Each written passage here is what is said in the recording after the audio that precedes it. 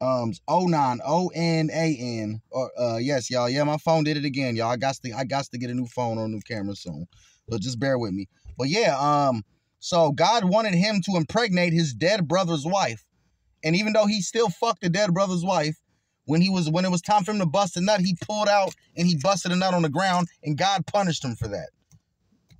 This is in the fucking Bible, y'all. This is in the fucking Bible. Um, Judges 14, Judges book 14, verse 1 through 19. God helped a motherfucker named Samson kill 30 people so he can steal their clothes and give it to somebody else who didn't even fucking need them. God helped a nigga kill 30 people so he can steal their clothes. All through the, listen, y'all, I can just sum up the whole Bible right now, y'all. Um, once upon a time, there was an invisible man named God, and um, just out of being bored, he started making shit. So um, you know, no backstory, no no no evidence of where he came from. It's just he just started off. He said, "Let there be light." He said it in English, of course. I mean, what other language would God speak? So he said, "Let there be light" in a deep voice, and then uh, he just started making people. Then he started coming up with rules, making up sin, and then he ended up killing a bunch of people. Um, you know, he told he told fucking the first people not to eat a fruit. They ate the fruit, even though he knew they were gonna do it. Then he punished them. Then he ended up impregnating a fucking twelve year old, and then he made that twelve year old have a fucking son, and then he named the son Jesus, which is based off the son, based off of fucking Osiris which was Jesus is actually a good character. I like Jesus, even though he's not real like how shit. You know, I like Superman. He's a good guy.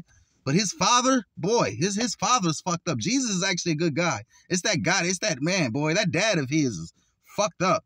So anyway, God ended up sacrificing the son that he had when he raped the 12-year-old girl.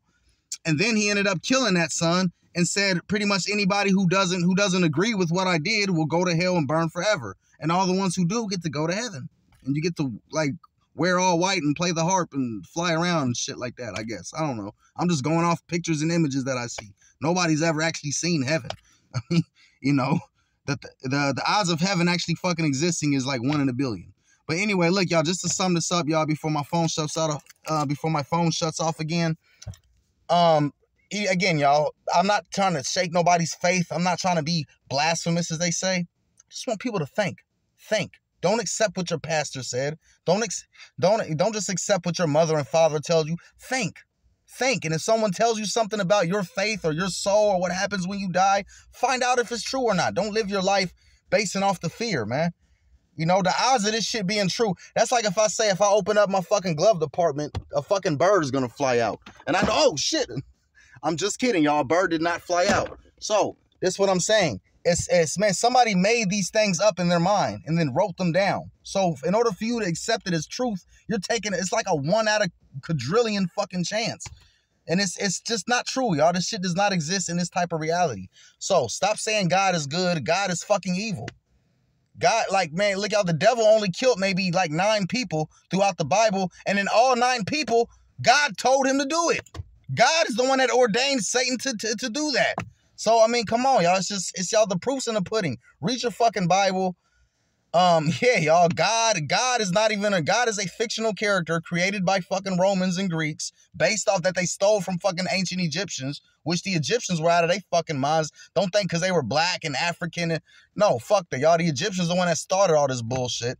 And then the Romans and Greeks, they came and took this shit way even further. And our black asses is up here fucking believing in this shit. So y'all, do your research.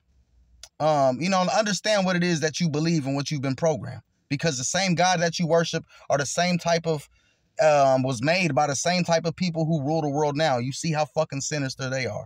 So where do we come from? Nobody knows. How do we get here? Why are we here? Nobody really knows. But I do have a few theories, which I will talk about tomorrow. Peace. Have a good day, y'all.